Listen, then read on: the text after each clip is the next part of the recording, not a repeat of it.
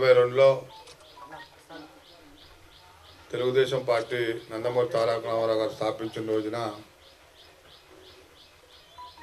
మరి మా తండ్రి గారు స్వర్గీయ కోనే నాగేశ్వర గారు నందమూరి తారక రామారావు గారి మీద అభిమానంతో ఆయన యొక్క ఆశయాలకు ఆకర్షితులై తెలుగుదేశం పార్టీలో చేరారు. ఆ రోజు నుంచి ఈ రోజు వరకు కూడా ఇప్పుడు ఇక్కడ ఉన్న వాళ్ళందరూ ముందున్న వాళ్ళు వెనకున్న వాళ్ళందరూ కూడా కోనే నాగేశ్వర గారితో పాటు తెలుగుదేశం పార్టీని రక్షించుకుంటూ కాపాడుకుంటూ ఇంతకాలం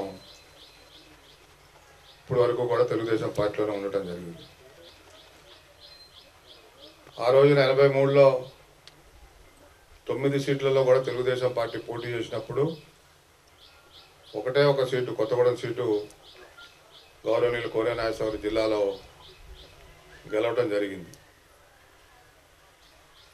దాని తర్వాత ఈ పార్టీని ఒక్కడే శాసనసభ్యుడిగా ఉన్నప్పుడు ఈ ఈ పార్టీని జిల్లాలో ఇవాళ తెలుగుదేశం పార్టీ మొన్నటిదాకా ఏ విధంగా ఉందో మీకు తెలుసు. టూ థౌజండ్ ఫోర్టీన్ వరకు అంత బ్రహ్మాండంగా ఎదగటానికి ప్రధాన కారణం కోరే నాగేశ్వర గారు అని చెప్పి సందర్భంగా మనవి చేస్తా ఉన్నాం. ఎన్టీ రామారావు బతుకున్నప్పుడు నాలుగు ఎన్నికలు జరిగితే నాలుగు ఎన్నికల్లో కూడా మొట్టమొదట లిస్టులో కోరే నాగేశ్వర పేరు ఉండేది. మూడు సార్లు కూడా భారీ మెజార్టీతో గెలిచాం నాలుగు సార్లలో. ఒకటే ఒకసారి రెండు వందల నలభై ఒకటితో ఓడిపోయాం. ఎన్టీ రామారావు చనిపోయే వరకు ఆయన వెంబటే ఉన్నాం. తర్వాత జరిగిన ఎన్నికల్లో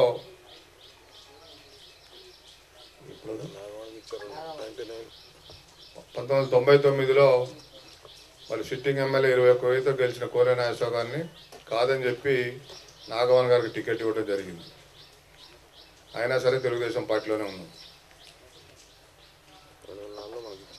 మళ్ళా రెండు వేల నాలుగులో రాష్ట్ర వ్యాప్తంగా తెలుగుదేశం పార్టీకి పూర్తిగా వ్యతిరేకత ఉన్న సమయంలో మళ్ళా కోనే నాగేశ్వర గారు పిలిచి టికెట్ ఇచ్చారు. గెలవని తెలిసినా సరే పార్టీ నిర్ణయానికి కట్టుబడి బ్రహ్మాండంగా కార్యకర్తలందరూ కూడా కష్టపడడం దాదాపుగా యాభై వేల ఓట్లు ఆ రోజు కూడా తీసుకున్నాం. దాని తర్వాత రెండు వేల తొమ్మిదిలో మహాకూటమి ఏర్పడి గ్యారంటీగా గెలుస్తామని చెప్పి నాకు టికెట్ ఇస్తాను పని చేసుకోమని చెప్పి అప్పుడు పొత్తులో భాగంగా సిపిఐకి ఇస్తే తెలుగుదేశం పార్టీ కార్యకర్తలు మేమందరం కూడా భుజాన్ని వేసుకుని సాంబశివరావు గారు గెలిపించడం జరిగింది. దాని తర్వాత రెండు వేల పద్నాలుగు ముందు నన్ను స్వయంగా కేసీఆర్ గారు నన్ను నాన్నగారిని మమ్మల్ని అందరినీ కూడా టీఆర్ఎస్లో పార్టీకి రమ్మని టికెట్ ఇస్తానన్నా కూడా ఈ పార్టీతో నమ్మకం మీద ఎన్టీ రామారావు గారు పెట్టిన పార్టీ నాకు స్ఫూర్తి ఎన్టీ రామారావు గారు రాజకీయాల్లో నాకు స్ఫూర్తి ఎన్టీఆర్ గారు. ఎన్టీఆర్ గారి నమ్మకం మీద కేసీఆర్ గారు అన్న గౌరవం ఉన్నా సరే మేము ఆ పార్టీలోకి వెళ్ళకుండా రెండు వేల పద్నాలుగులో పూర్తి వ్యతిరేకత ఈ రాష్ట్రంలో ఈ పార్టీ మీద ఉన్నప్పుడు కూడా పోటీ చేశాను. దాదాపుగా ముప్పై వేల ఓట్లు ఈ నియోజక ప్రజలు నన్ను ఆశీర్వదించారు. దాని తర్వాత అనేక ఉద్యమాలు చేశాం తెలుగుదేశం పార్టీ తరఫున. ఈ కొత్తగూడలో పుట్టి పెరిగినందుకు ఈ యొక్క గడ్డ రుణం తీర్చుకోవాలని చెప్పి కొత్తగూడెం మున్సిపాలిటీలో ఇళ్ళ పట్టాలు లేక ప్రజలు ఇబ్బంది పడుతున్నారని చెప్పి నాలుగు రోజులు ఆమరణ దీక్ష చేసి ఇక ఆరోగ్యం పాడైపోయింది చనిపోతాడు అన్నప్పుడు చనిపోయే పరిస్థితికి వచ్చినప్పుడు ఆరోగ్యం క్షీణించినప్పుడు తీసుకెళ్ళి విరమింపజేశారు బలవంతంగా. దాని పర్యవసానంగా ఆ రోజున కొత్తగూడెం పట్టణ ప్రజలందరికీ కూడా పట్టాలు ఇవ్వాలని చెప్పి జీవో వచ్చింది అంటే మా కుటుంబం ఎప్పుడు కూడా మా కుటుంబం కానీ తెలుగుదేశం పార్టీ కానీ ఈ ప్రాంత ప్రజలకి అభివృద్ధి జరగాల. ఈ ప్రాంతం అభివృద్ధి చెందాలా? రాష్ట్రంలో అన్నిటికన్నా కొత్తగూడెం పారిశ్రామికంగా అన్ని రకాల ముందుంది.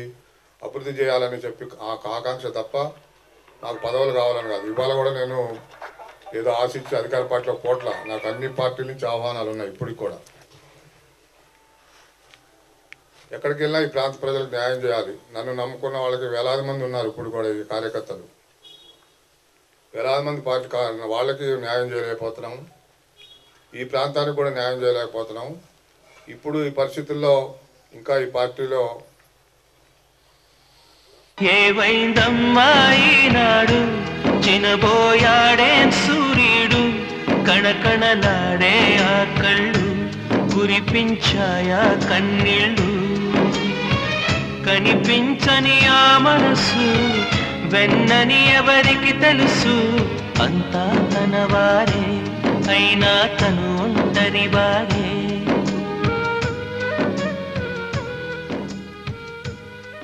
ఏవైందమ్మా చినబోయాడే చినబోయాడేం సూర్యుడు. కణకణలాడే ఆ కళ్ళు. కురిపించాయా కన్నీళ్ళు. కనిపించని ఆ మనసు. వెన్నని ఎవరికి తెలుసు? అంతా ఈ సందర్భంగా అంటే రాజీనామా లెటరు సోదరులందరికీ విలేకరులందరికీ ఇవ్వడం జరుగుతుంది ముఖ్యమంత్రి చంద్రబాబు నాయుడు గారికి కూడా పార్టీ సభ్యత్వానికి నియోజకవర్గ ఇన్ఛార్జికి జిల్లా అధ్యక్ష పదవికి రాజీనామా చేస్తా. మీ అందరం కూడా అందరూ కూడా ఇవాళ అందరూ కూడా బాధపడే పరిస్థితిలోనే ఉన్నాం. ముఖ్యంగా ఈ ప్రాంత అభివృద్ధి మా వల్ల జరగట్లేదు ఈ పార్టీలో. మమ్మల్ని నమ్ముకున్న కార్యకర్తలకు ఏం చేయలేకపోతున్నాం. చాలా మంది అడుగుతున్నారు అధికార పార్టీలో పోవచ్చు కదా అని. అధికార అధికారమే కావాలంటే ఈ పార్టీకి మంత్రిగా ఉండేవాడిని. నిజాయితీగా పనిచేస్తూ ఇవాళ ఇరవై సంవత్సరాలకు అధికారం లేకపోయినా ఇంకా వేలాది మంది పన్నెండు వేల మంది మొన్న కూడా సభ్యత్వం చేర్పించాం మేము కొత్తగూడెంలో. పాలంచ కొత్తగూడెంలో. దాదాపుగా మెజార్టీగా నేను ఎవరిని రమ్మని ఎవరిని అడగట్లేదు. మమ్మల్ని అభిమానించేవాళ్ళు మేము న్యాయం చేస్తాం అనుకున్న వాళ్ళు జిల్లా వ్యాప్తంగా కూడా అన్ని పార్టీల నుంచి అన్ని పార్టీల నుంచి ఇవాళ మేము తీసుకునే నిర్ణయాన్ని హర్షిస్తూ ఉన్నారు. కాబట్టి మేమందరం కూడా ప్రజల్లో ఒక భావం వచ్చింది ఇవాళ. ఈ యొక్క అవినీతి పరిపాలన చూస్తూ ఉన్నాం మనం. ముఖ్యంగా కొత్తగూడెం చూస్తే ఒకతను వెళ్ళిపోయాడు బాబు అని ఊపిరి పీల్చుకునే లోపు పెనం మీద నుంచి పొయ్యిలో పడ్డట్టుంది కొత్తగూడెంలో పరిస్థితి. కాబట్టి ఇప్పుడు మా అవసరం మేము ఒక మంచి పార్టీని ఎన్నుకొని మా అవసరం ఈ యొక్క నియోజకవర్గ ప్రజలకు ఉందని ఇక చేతులు కట్టుకుని కూర్చునే పరిస్థితి ఉండదు. ప్రతి అన్యాయాన్ని ప్రతి అవినీతిని ఎదిరిస్తాం. కేంద్ర ప్రభుత్వంలో భారతీయ జనతా పార్టీలో మోడీ గారి నాయకత్వంలో ఈ దేశంలో అనేక విప్లవాత్మకమైనటువంటి మార్పులు తీసుకొస్తూ ప్రజలకు అనేక సంక్షేమ కార్యక్రమాలు చేస్తున్నటువంటి మోడీ గారి నాయకత్వం సుస్థిరమైన పాలన ఎటువంటి అవినీతి లేదు. గతంలో కేంద్రంలో ఎన్నో స్కాములు జరిగాయి. ఎటువంటి అవినీతి పరిపాలన కుటుంబ పాలన లేని పార్టీ. ఇవన్నీ కూడా మోడీ గారి నాయకత్వంలో మేమందరం నేను మా అన్న మొదటి నుంచి అన్న నేను ముందున్నా అనుకుంటే ఈ పార్టీని అన్ని విధాల ముందు నడిపించినటువంటి అన్న కూడా రావి రాంబాబు గారు. ఇంకా చాలామంది ఇప్పుడు కృష్ణారావు ఉన్నాడు నాగేశ్వరరావు. అందరూ ఇక్కడ mandal president town president municipal vice chairman. Vice MPP. అంటే ముఖ్యులే రమ్మని చెప్పాం. అందరం కూడా రేపు హైదరాబాద్లో మ్యాక్సిమం హైదరాబాద్ వెళ్ళి నడ్డా గారి సమక్షంలో బీజేపీలో చేరటానికి ముఖ్యంగా మేము సమాధానం చెప్పాల్సింది ఈ నియోజకవర్గ ప్రజలకి తెలుగుదేశం పార్టీ కార్యకర్తలకి. ఎందుకంటే ఆరు సార్లు పోటీ చేసాం ఇక్కడ అసెంబ్లీకి. ఒకటే గుర్తు మీద ఆరు సార్లు పోటీ చేసినాం ఇక్కడ. ఆరు సార్లు కూడా ఈ ప్రజలు బ్రహ్మాండంగా మాకు అవకాశం ఇచ్చారు. మూడు సార్లు గెలవచ్చు మూడు సార్లు ఓడిపోవచ్చు కానీ ఈ ప్రజలకి మేము రుణపడి ఉన్నాం మాకు ఇంత ఇప్పటికీ ఇంత ప్రజల్లో ఆదరణ ఉందంటే మీ ప్రజలు మీరు ఇచ్చినటువంటి మీ యొక్క అభిమానం ఆదరణ ఇవాళ మేము ఇంత నాయకులుగా ఎదిగాం. రాష్ట్రంలో ఉన్న అన్ని పార్టీలు కూడా ఇవాళ మమ్మల్ని పిలిచినా సరే మేము ఎవరికైతే న్యాయం చేయగలుగుతాం ప్రజలకు న్యాయం చేసే పార్టీ ఏదని ఆలోచించి అధికారం లేకపోయినా బీజేపీ పార్టీలో చేరి ఈ పార్టీలో జిల్లాలో నెంబర్ వన్ స్థానంలో కోరే నాగేశ్వరరావు గారు జిల్లా ప్రెసిడెంట్గా తొమ్మిది తొమ్మిది స్థానాలు ఏ విధంగా గెలిపించారో రేపు రాబోయే రోజుల్లో ఈ జిల్లాలో పది స్థానాలు ఉమ్మడి జిల్లాలో పది స్థానాలు బీజేపీ జెండా. ఈ జిల్లా ప్రజలు చైతన్యవంతమైన ప్రజలు.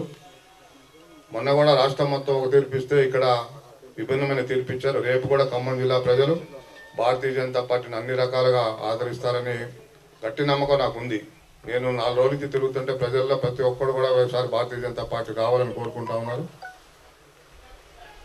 కాబట్టి ఇంతకాలం సహకరించినటువంటి తెలుగుదేశం పార్టీ నాయకులకి కార్యకర్తలకి అదేవిధంగా ఈ ముఖ్యంగా ఈ నియోజకవర్గ ప్రజలకి మా జీవితాంతం రుణపడి ఉంటాం.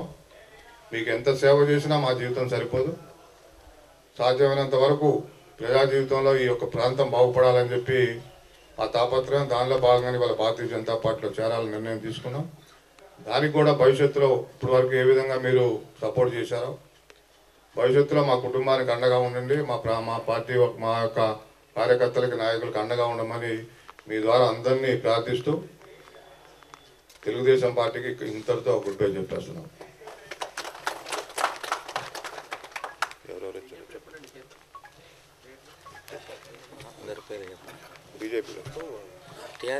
బీజేపీలో. పద్దెనిమిదో తారీఖు ఉదయం బయలుదేరి వెళ్ళి అక్కడ రెండింటికి ఎగ్జిబిషన్ గ్రౌండ్స్లో నాంపల్లి ఎగ్జిబిషన్ గ్రౌండ్స్లో దాదాపుగా తెలంగాణలో ముఖ్య నాయకులు చాలా చాలా జిల్లాలో అందరూ కూడా జిల్లా ప్రెసిడెంట్ నియోజకవర్గ ఇన్ఛార్జీలు కేవలం తెలుగుదేశం పార్టీ కోసం ఈ మీటింగ్ పెడతా ఉన్నారు హైదరాబాద్లో. వాళ్ళని చేర్చుకోవడం కోసం నడ్డా గారు అదేవిధంగా నితిన్ గడ్కరీ గారు రామ్ మాధవ్ గారు మరి భారతీయ జనతా పార్టీ రాష్ట్ర అధ్యక్షుడు లక్ష్మణ్ గారు కేంద్ర హోంశాఖ మంత్రి కిషన్ రెడ్డి గారు వీళ్ళందరి సమక్షంలో పార్టీలో జరపతా ఉన్నాం. మేము ఆల్రెడీ నేను కిషన్ నేను అమిత్ షా గారిని కలిసి ఈ ప్రాంతం మె- మెజార్టీ పెద్దటి ఏదైతే సమస్య ఉందో పోడు భూముల సమస్య అది కేంద్ర ప్రభుత్వం తీర్చాల్సిన సమస్య దాని మీద కూడా నేను ఆల్రెడీ ఒక లెటర్ తయారు చేసి ఇచ్చాను. తప్పనిసరిగా దాని మీద కూడా ఒక కమిటీ వచ్చి దాని మీద కూడా అధ్యయనం చేస్తుంది. అమిత్ షా గారిని కూడా కొత్త కూడా రమ్మని కోరాను. సెప్టెంబర్ కానీ అక్టోబర్ కానీ తప్పకుండా అమిత్ షా గారు వస్తారు. అప్పుడు ఇంకా అందరం కూడా హైదరాబాద్లో జాయిన్ అవ్వలేం కాబట్టి వేలాది మంది ముఖ్యంగా వెళ్ళి మళ్ళీ తర్వాత హైదరాబాద్ కొత్తగూడెంలో ఒక ప్రోగ్రాం తీసుకుని అందరూ కూడా కార్యకర్తలతో సహా అన్ని పార్టీలు ముఖ్యంగా టీఆర్ఎస్లో వాళ్ళు చాలా మంది వస్తున్నారు. కాంగ్రెస్ వాళ్ళు వస్తున్నారు మాజీ ఎమ్మెల్యేలు. మాజీ చైర్మన్లు కౌన్సిలర్లు ఎంపీటీసీలు సర్పంచులు అనేక మంది వాళ్ళ భారతీయ జనతా పార్టీ వైపు చూస్తున్నారు.